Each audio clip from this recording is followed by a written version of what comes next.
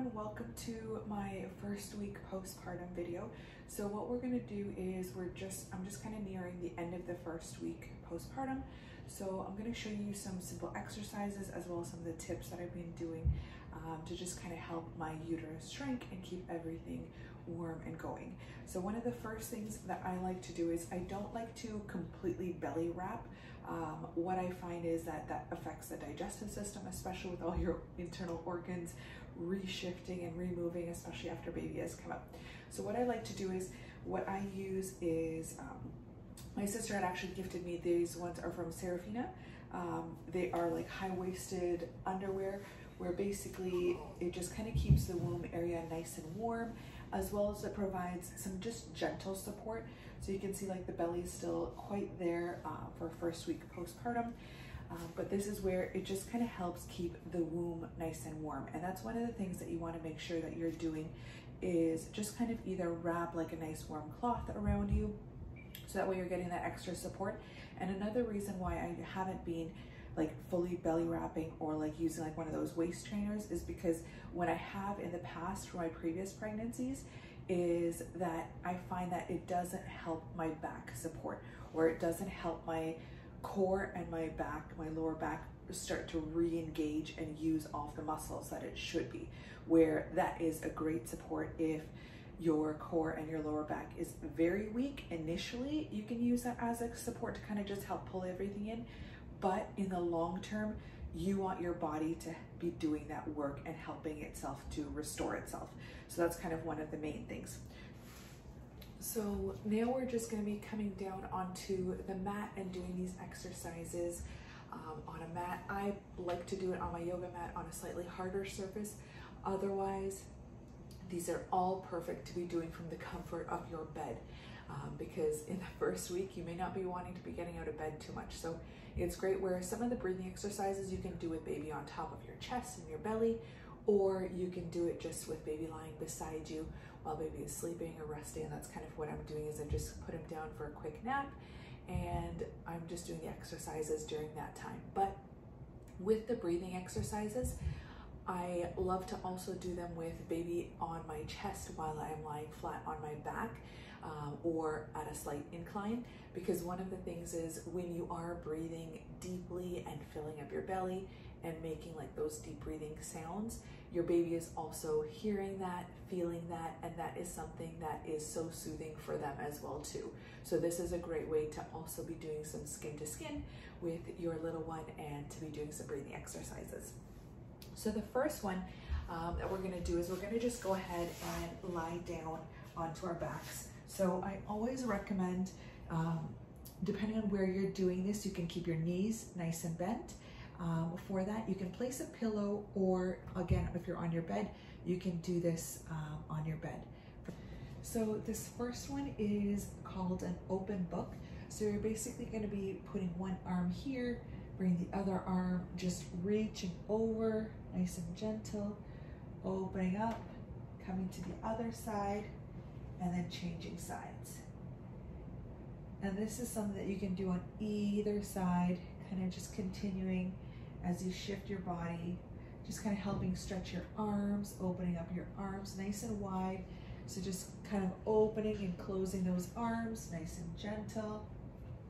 Another great one that I love that you haven't typically been able to do during pregnancy are twists.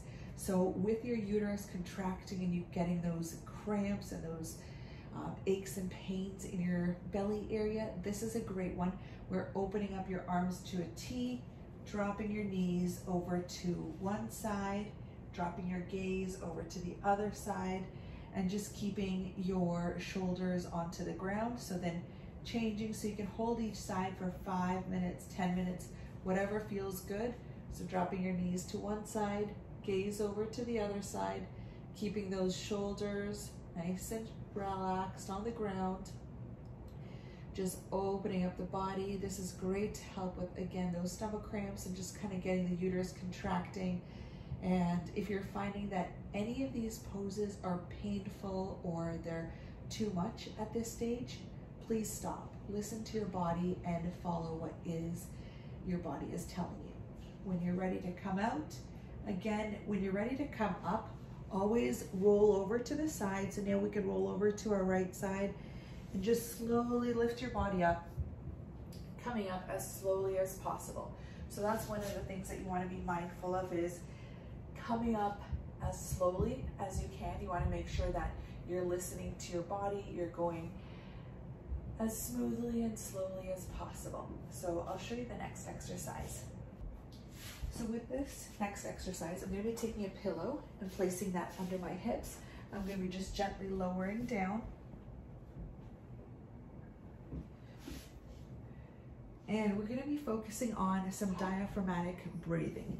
So you can place your hands on your belly, inhale, filling up the belly. As you exhale, tilting your pelvis in, pulling your belly button towards your spine. Inhale, tilting your pelvis forward, filling up that belly. Exhale, tilting your pelvis in, pulling that belly button and your lower back towards the ground. Just continuing this. You can continue this for about 10 or 20 deep breaths. This just kind of helps get that core re-engaged. It's beautiful. You want to make sure your head, your neck, your shoulders are all nice and relaxed. Keeping your jaw nice and relaxed. Just focusing on your breath. This also helps with moving your organs back into the correct locations, focusing on your breath, being mindful. You can inhale through your nose. If you're doing ujjayi breathing, you can exhale again through your nose with your throat constricted. Otherwise, you can always exhale through your mouth, listening to your body, doing what's best.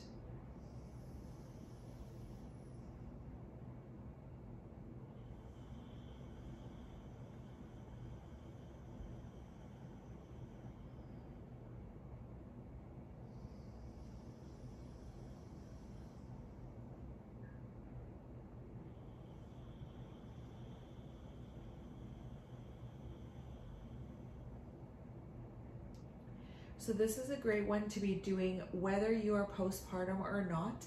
Um, as your baby gets older, you can always let your baby rest on your thighs, um, facing you. You can let your baby rest on your chest, whatever is comfortable for you. If baby is a little fussy and you wanted to kind of do some breathing exercises with them, this is a great one to be doing. So just continuing on to do that a few more times, just following your own breath and pace. And then the next one that we're gonna do is we're gonna pull our belly button towards our spine again. You're gonna lift up one knee and we're just gonna do gentle toe taps or just gentle marching where you're gonna go up. You can come up to 90 degrees, but if that's too much for you, just come up even a little bit and just keeping your belly button pulled in towards your spine, your lower back pressed against the pillow or the mat, and that's where the pillow kind of helps tilt your pelvis automatically inwards um, so that way you're automatically engaging it but again focusing on your breath. So as you bring up your knee just a gentle exhale inhale exhale bring it in pull it in inhale down. Again going at your own breath and pace just listening to your body doing as much as you're able to. So I would start with even 10 to 20 on each side and then not pushing yourself for the first week, just kind of going gently paced. And then as your body gets stronger, as your body starts warming up a little more, you can continue on. So again, you wanna just make sure you're mindful of keeping that core engaged. And this is where these gentle exercises help strengthen the core and help build up that muscle mass again. And just you want to focus on your internals. Okay. Once you're done you can leave the pillow where it is um, and we're just gonna again just gently roll over. We're gonna come up onto our hands and our knees. So if you have the pillow you can leave the pillow under your knees just as a little extra cushioning depending on where you are. Coming into a neutral spine, we're gonna do some inhales and exhales So toes, you can either curl them under for additional balance or you can stay on the tops of your feet. Engaging your body, keeping it nice and neutral. Inhale, dropping your belly, curving your spine, gaze up. Exhale, rounding your spine, gaze towards your belly button. Inhale, dropping your belly, gaze up. Exhale, rounding your spine. Just continuing on at your own breath and pace, going nice and slow. This is great for just kind of moving the spine because as moms, regardless if you are breastfeeding or if you are formula feeding, with a new baby, you're typically hunched over, focusing on baby and not always focusing on posture and how your body is. So this is a great one to just kind of help relieve some of the back aches that you might be feeling and just kind of getting everything moving. So again, you can do this about 10 or 20 times as much as it's comfortable for you. Then go ahead and move your hands slightly forward. We're gonna move our hips a little forward and we're just gonna do gentle circles with our hips, going in one direction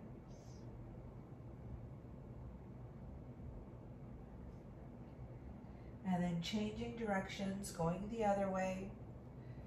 Just listening to your body. Again, whatever is comfortable for you. Keeping your gaze just in front of your hands. Slowly coming back to table, bringing your hands back directly under your shoulders. And we're gonna just do some more diaphragmatic breathing. So we're gonna come in here, stay here, Inhale, expand that belly out. Exhale, pulling the belly button in. So here you can keep your gaze almost between your legs, so letting your head and your neck relax. Inhale, expand that belly. Exhale, pulling it in and up. Inhale, dropping the belly. Exhale, pulling it in and up. So your back is not moving. You're gonna keep your back pretty much in that neutral position. Inhale, dropping the belly. Exhale, pulling it up and in. And this is a great one to start with engaging the core as well too, where you're not using gravity as much um, for where when you're on your back, your belly easily is able to be pulled in. Where here you're having to use a little bit more muscle power to be pulling that core in and up. So again, whatever is comfortable for you, start with five, start with 10, and maybe work your way up over the week or over the next couple weeks up to 20. You're not gonna have much time, so this is where you can just pop in these quick exercises and breath work whenever you get a chance to. So the next one, we're going to be coming up, we've done, we're gonna be coming back here and I just want you to sit in a comfortable position. And we're gonna just do some belly breathing. So this is a great one. Again, if you're able to sit in a cross-legged position, you can go ahead and do that. Otherwise, find what's comfortable for you. So if you have something to lean back against, you can do that. You can keep your knees slightly up because depending on how your stitches are, if you've had a C-section, um, if you've had a tear, an episiotomy, anything, it may be a little bit sore and uncomfortable. And that's where, again, if you are going to be on the ground, have that pillow underneath you or do these exercises on your bed. But right now, I'm okay with sitting cross-legged. Um, I'm not gonna be sitting in um, butterfly pose where my feet would be together and my knees would be spread because that will be a little bit sore for me. But basically I'm just gonna sit here, sit up nice and tall. You can close your eyes if you'd like to, and we're just gonna focus on belly breathing. So this is one where you can either sit up nice and tall and make sure your shoulders are rolled back and your posture is good and your shoulder blades are tight. Just inhale, expanding the belly. Exhale, again, pulling it in. And this is great where again, diaphragmatic breathing is very helpful, especially postpartum with helping your organs just kind of shift back into place. And it's not going to happen overnight. Um, one of the things that ha- I have read about is that it typically takes about a year for everything to shift back into place. So be mindful of that. Take your time. Don't push yourself too much. Every body is different. Um, and just doing these exercises as well, just gentle movement and some gentle walking. This will also kind of help your bowel movements kind of come back to um, regulation as well too. So lots of fluids um, is another thing. You can have like some dried fruits, um, prune juice, anything that will also kind of help things moving. Um, so those are just some recommendations as well diet wise. So just kind of focusing on the belly again, inhale, exhale. If you're wanting to lean back again, this is also great.